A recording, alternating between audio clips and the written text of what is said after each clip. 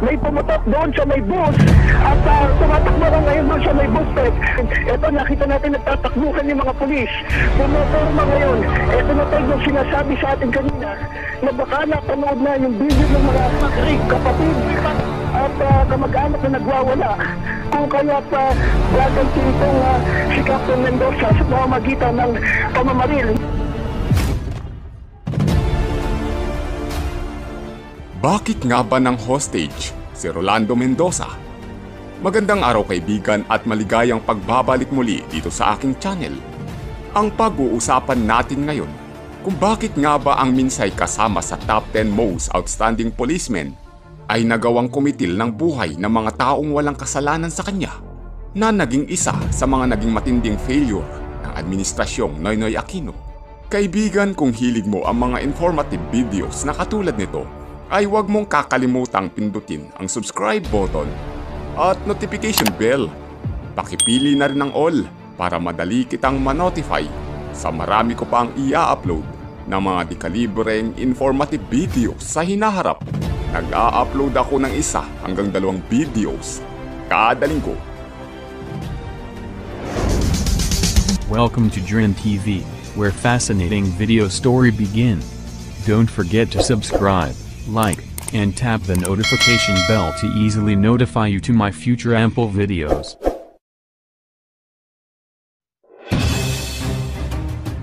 Senior Inspector Rolando Mendoza. Ang salaring hindi lang basta ordinaryong miyembro ng Philippine National Police, kundi isang Senior Inspector at Decorated Officer for 17 times for bravery and honor. Isa sa mga awardees ng JC's International for the 10 Outstanding Policemen of the Philippines. August 23, 2010, Rizal Park, Manila. Hindi malinaw ang report kung saan nga ba sumakay si Mendoza nang binihag nito ang bus na Hong Kong Thai Travel Services na may lulan na 25 mga turistang taga Hong Kong at mga Pinoy. Ayon sa report, sumakay si Mendoza sa harap ng Quirino Grandstand.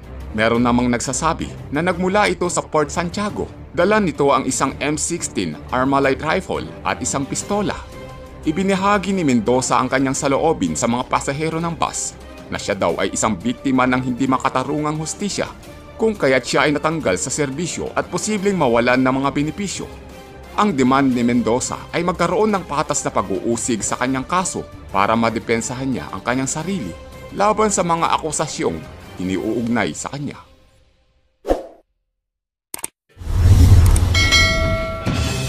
April 9, 2008, ayon sa salaysay ng isang chef ng isang hotel na kinilalang si Christian Calaw, si Mendoza kasama ang apat na tauhan nito ang dumakip sa kanya dahil sa isang parking violation. Tinaniman daw ni Mendoza kasama ng kanyang mga tauhan ang nahuling sasakyan ni Calaw nang ipinagbabawal na gamot at sa pilitang ipinagamit ito sa kanya at inakusahan siya na isang adik.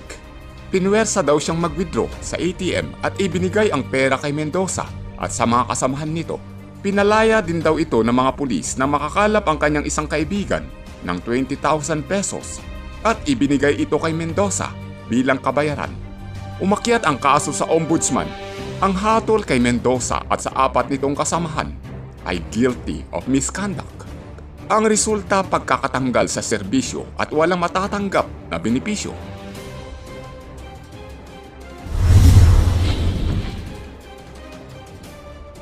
August 23, 2010, alas 10.30 ng umaga, patagong nakakontak sa loob ng bus sa agency nila sa Hong Kong ang tour guide na si Masa Che Tinchung. Ipinaalam nito na sila'y bihag ng isang lalaking armado. Nang kumalat na ang balita sa buong media, mapalokal at international man, doon na nagsimula ang negosasyon sa panig ng gobyerno at ni Rolando Mendoza. Sa umpisa, naging positibo ang negosasyon at nagpakita ng kooperasyon si Mendoza. Nagpalaya din ito ng anim na Hong Kong national na nasa loob ng bus kapalit ng dalawang Pinoy na photographers na umakyat ng bus para gawing voluntaryong bihag. Makalipas ang ilang oras, pinakawalan na rin ni Mendoza ang dalawang Pinoy na photographers na voluntaryong maging bihag kasama sa pagpapalaya ang Pinoy tour guide ng mga turista.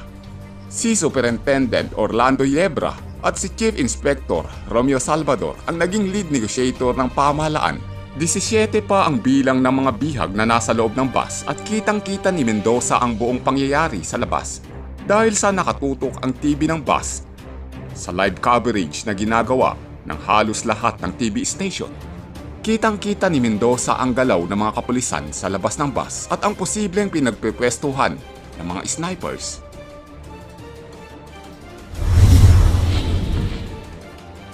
Alas dos ng hapon, nagsimula nang magpaskil ng kanyang hinaing si Mendoza sa windshield at bintana ng bus. Ang sabi ni Mendoza sa kanyang mga isinulat, A big mistake to correct, a big wrong decision, a big deal will start at 3pm, and 3pm deadlock. Samantala patuloy pa rin sa paghihintay si Mendoza sa desisyon ng ombudsman sa request nito na maibalik siya sa serbisyo. Bigo ang negosyador ng pamahalaan na tugunan ang hinihiling ni Mendoza dahil denied ang request nito sa ombudsman na makabalik siya sa pwesto. Tinawag ni Mendoza na basura ang assurance ng ombudsman na bubuksan muli ang kanyang kaso para maimbestigahan. Lalo pang umakyat ang tensyon nang dumating na ang mga miyembro ng Manila Police District SWAT team sa pinangyayarihan ng insidente. Nagbabala si Mendoza sa isang radio interview na papatayin niya ang ilang bihag kung hindi aalis ang mga miyembro ng SWAT.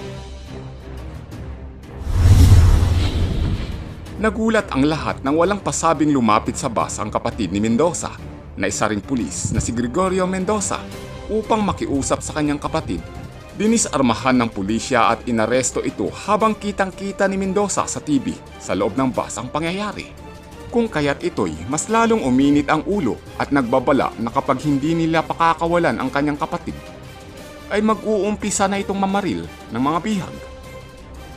Alas 7.21 ng gabi, unang narinig ang putok mula sa bus. Sa oras na iyon, pinutukan ng sniper ang gulong ng bus para hindi na ito makalayo. Sakaling magdesisyon si Mendoza na patakbuhin ang bus para tumakas. Tinuloy ni Mendoza ang kanyang banta na papatay ng bihag at ang unang biktima ay ang tour guide na taga Hong Kong na si Masache Tinchun na nakaposas na sa handrail ng pintuan. Ayon sa isang survivor na si Jo Chan Chok Chu, tinangkapan ng ilang bihag na pigilan si Mendoza sa kanyang pamamaril. Pero bigo sila dahil sinalubong sila ng bala ng kapitan bago pa man sila makahawak sa kanya. Habang ginagawa ni Mendoza ang pamamaril sa mga turistang pasahero ng bus ay maswerte namang nakatakas ang driver nito na si Alberto Lubang. Alas 7.37 ng gabi, nag-umpisa ng palibutan ng mga miyembro ng Manila's Finest SWAT Team ang bus. Inabot ng kulang-kulang isang oras ang ginawang pagpasok ng mga SWAT sa loob ng bus. Tinangka nilang basagin ng sledgehammer ang plexiglass window ng bus pero palpak ang naging resulta. Hinatak nila ang pintuan ng bus gamit ang lubid pero palpak pa rin ang resulta dahil sa naputol naman ito.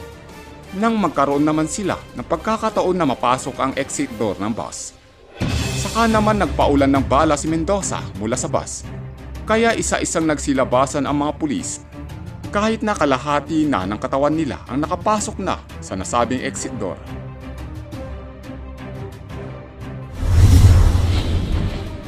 Sa makikita sa sitwasyon ng mga pulis sa labas ng bus ay hirap na hirap silang makapasok para ma-neutralize si Mendoza. Nagmukhang mga batang naglalaro lang ng mga baril-barilan ang mga ito dahil sa hindi pa rin nila mapasok ang loob ng bus. Kaya't nagpakawala na ang mga ito ng dalawang canister ng tear gas para mapilitang lumabas si Mendoza. Ilang saglit pa, bumulagta na ang patay na katawan ni Mendoza malapit sa pintuan ng bus nang ito'y tangkang lumabas Sa ulo si Mendoza dahil sa sniper na nakapwesto sa labas at nakakuha ng isang clear shot.